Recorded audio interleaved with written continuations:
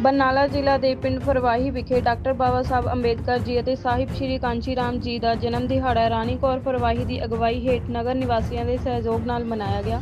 ਇਸ ਪ੍ਰੋਗਰਾਮ 'ਚ ਮੁੱਖ ਮਹਿਮਾਨ ਵਜੋਂ ਕਰਮਜੀਤ ਸਿੰਘ ਹਰੀਗੜ੍ਹ, ਬਾਬਾ ਸਾਹਿਬ ਅੰਬੇਦਕਰ ਵੈਲਫੇਅਰ ਅਤੇ ਚੈਰੀਟੇਬਲ ਮੰਚ ਸੰਗਰੂਰ ਸ਼ਾਮਿਲ ਹੋਏ। ਇਸ ਪ੍ਰੋਗਰਾਮ ਵਿੱਚ ਪੰਜਵੀਂ ਜਮਾਤ ਤੱਕ ਦੇ ਵਿਦਿਆਰਥੀਆਂ ਵੱਲੋਂ ਪਹਿਲਾ, ਦੂਜਾ ਅਤੇ ਤੀਜਾ ਦਰਜਾ ਹਾਸਲ ਕਰਨ ਵਾਲੇ ਵਿਦਿਆਰਥੀਆਂ ਨੂੰ ਮੈਡਲ ਅਤੇ ਕਾਪੀਆਂ ਦੇ ਕੇ ਸਨਮਾਨਿਤ ਕੀਤਾ ਗਿਆ।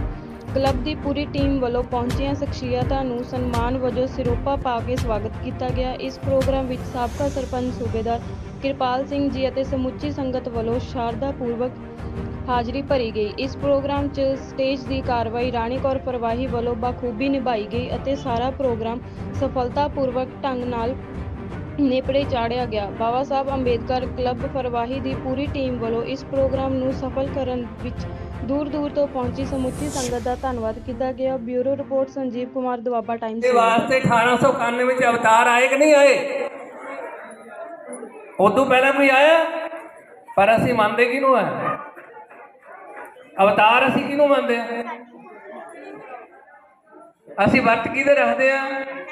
ਅਸੀਂ ਪੂਜਾ ਕਿਹਦੀ ਕਰਦੇ ਆ? ਅਸੀਂ ਕਿਹਦੇ ਮੰਦਰਾਂ ਤੇ ਜਾਂਦੇ ਆ? ਅਸੀਂ ਕਿਹਨਾਂ ਦੇ ਥਾਵਾਂ ਤੇ ਜਾਂਦੇ ਆ? ਕੁਝ ਪੈਂਦੀ ਹੈ ਗੱਲ ਦਿਮਾਗ 'ਚ? ਦਿਮਾਗ 'ਚ ਗੱਲ ਪੈਂਦੀ ਹੈ? ਸਾਡੇ ਵਾਸਤੇ ਯੁੱਗ ਪਲਟ ਗਿਆ। ਸਾਡੇ ਵਾਸਤੇ ਕਲਯੁਗ ਤੋਂ ਸਤਯੁਗ ਬਣ ਗਿਆ। ਪਰ ਜਿਹੜਾ ਸਾਡਾ ਦਿਮਾਗ ਹੈ, ਜਿਹੜਾ ਸਾਡਾ ਦਿਮਾਗ ਹੈ, ਉੱਥੇ ਦੇ ਸਾਡਾ ਦਿਮਾਗ ਨਹੀਂ ਬਦਲਿਆ। ਜਦੋਂ ਤੁਹਾਡਾ ਦਿਮਾਗ ਬਦਲ ਗਿਆ, ਇਹ ਮੈਂ ਤੋਂ ਲਿਖ ਕੇ ਲੈ ਲਓ। ਐਵੀਡੈਂਟ ਲਿਖ ਕੇ ਲੈ ਲਓ।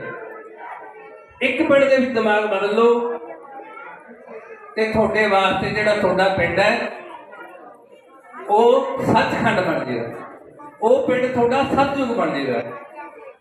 ਪਰ ਤੁਸੀਂ ਆਪ ਤਾਂ ਬਦਲੋ। ਆਪਣਾ ਦਿਮਾਗ ਤਾਂ ਬਦਲੋ।